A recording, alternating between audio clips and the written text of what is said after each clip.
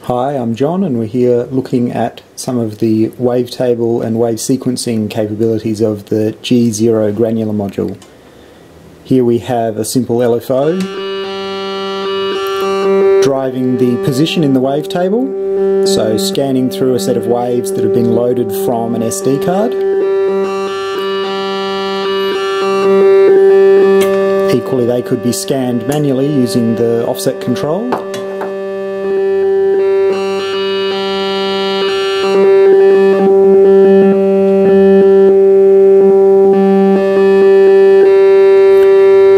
Wavetable is composed of about a bit over 20 random single cycle waveforms joined together one after the other.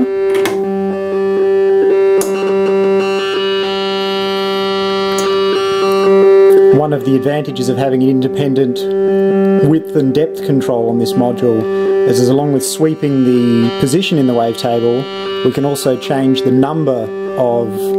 waves which are included in the window size and we can blur them together to create short wave sequences or we can in fact cut them to a fraction and filter them into even smaller grains than they were originally.